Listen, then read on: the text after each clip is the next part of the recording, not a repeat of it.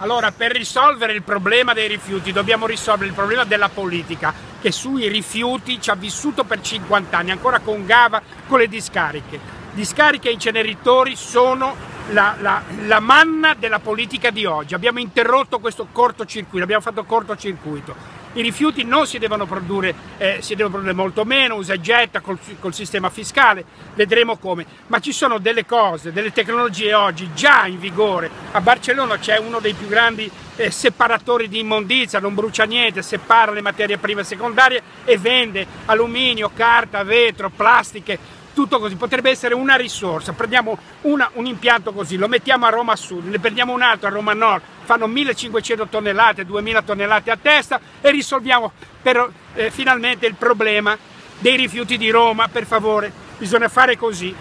perché andare avanti con discariche e inceneritori, che già l'Europa nel 2020 ci dice che non si potranno più fare, eh, vuol dire sotterrare, bruciare, vuol dire che ce li mangeremo, ce li respireremo e ce li odoreremo per vent'anni. Allora basta, affrontiamo la politica nel suo core business che è il rifiuto. Mafia e politica vanno d'accordo e si uniscono sul rifiuto. È quello, è su questo che dobbiamo fare la nostra lotta. Grazie a tutti. Grazie a tutti dal vostro Grillo Mannaro che oltre ad essere responsabile delle varicelle e di tutte le malattie possibili ha abbassato il, grado di informazione in questo paese e adesso ha alzato lo spread arrivederci dal grillo Mannaro, lo sapevo che arrivavano a quello, lo sapevo.